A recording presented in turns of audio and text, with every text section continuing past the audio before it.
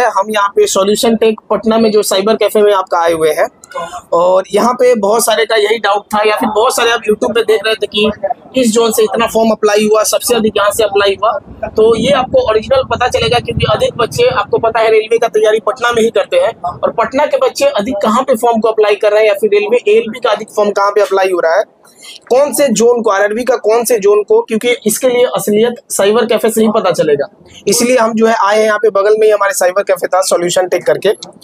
तो बताइएगा भैया कि सबसे अधिक जो है अभी तक आप जो लगभग इतना दिन से फॉर्म अप्लाई कर रहे हैं तो सबसे अधिक ये जो जोन आप दिखाई दे रहा है तो सबसे अधिक बच्चा कहाँ पे फॉर्म अप्लाई कर रहे हैं? ठीक है सबसे ज़्यादा तो बिलासपुर भरा जा रहा है। थोड़ा लाउडली और सबसे ज़्यादा बिलासपुर भरा जा रहा है बिलासपुर भुवनेश्वर सिकंदराबाद हाँ ये कुछ जोन है जो सबसे ज़्यादा लड़के जो है भर रहे हैं वहाँ पे। अच्छा बिलासपुर में सबसे अधिक बढ़ा रहा है? पहला नंबर में जी। बिलासपुर में। दूसरा नंबर में सिकंदराबाद। हाँ सिकंदराबाद सिकंदराबाद। भुवनेश्वर है। भुवनेश्वर में। और तीसरा नंबर में इसमें कलकत्ता में? कलकत्ता में अभी तक शायद एक या दो कैंडिडेट डाला है मेरे यहाँ से।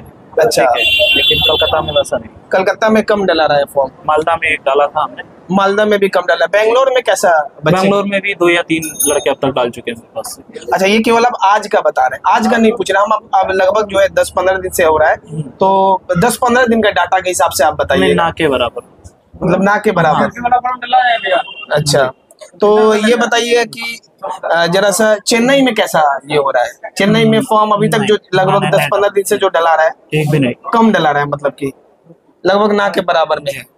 और सिलीगुड़ी में कैसा डला रहा है? सिलीगुड़ी में भी लड़के डाल रहे हैं। सिलीगुड़ी में लड़के लोग डाल रहे हैं? अच्छा रांची में? नहीं रांची में भी नहीं डाला रांची में कम डाल रहे हैं।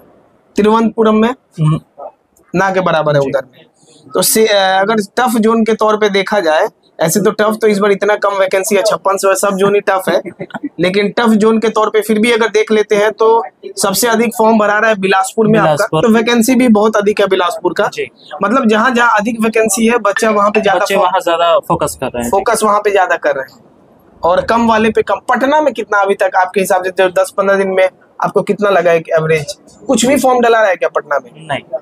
अभी तक पटना में भी जो है बहुत कम ही बच्चे ना के बराबर ही जो है फॉर्म जो है डाल रहे हैं। चलिए।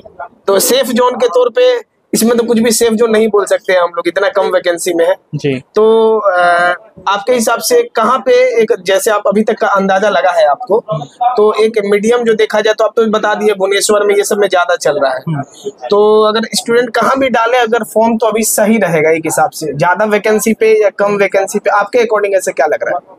लड़के जैसे जो जोन ज़्यादा दूर है ठीक है। लड़के कुछ लोग हैं जो वो माइंडसेट रखते हैं कि ज़्यादा दूर है वहाँ लड़के ज़्यादा नहीं डालेंगे सीट कम है तो वहाँ लड़के कुछ लोग हैं जो फोकस कर रहे हैं कि नहीं कम सीट है बट वहाँ फाइट किया जा सकता है क्योंकि वो जोन दूर है। हम्म। लड़के ज़्यादा वहाँ पे अटेम्प्ट नहीं ले तो दूर वाले जोन्स पे भी ट्राई किया जा सकता है। सीट कम है तो क्या हुआ? आपको तो एक ही सीट चाहिए ना। तो इस हिसाब से जो है लगभग है। मतलब कि जहाँ ज़्यादा वैकेंसी है तो अभी भी बच्चे उसी को ही प्रिफरेंस कर रहे हैं। जी। उसी को ही लगभग सब कुछ कर रहे हैं। बाकी जो जोन वाइज का एक जो डाटा लगभग जो आएगा भैया से हम बाद में लेंगे और आप लोगों को भी बताएँगे कि लगभग अप्रोक्स कितना के करीब में जो है अंदाज के तौर पर कितना के करीब में फॉर्म आपका फिलअप हो रहा है। तो यही आपके हिसाब से था कि ज़्यादा जहाँ वैकेंसी है, अभी भी कोई कुछ भी बोल दे कि हाँ यहाँ पे नहीं भरो, वहाँ पे नहीं भरो। ज़्यादा जहाँ वैकेंसी है, बच्चे वहाँ पे अधिक फॉर्म को अप्लाई कर रहे हैं। जहाँ कम वैकेंसी है, वहाँ पे जो है बच्चे कम को अप्लाई जो है कर रहे हैं।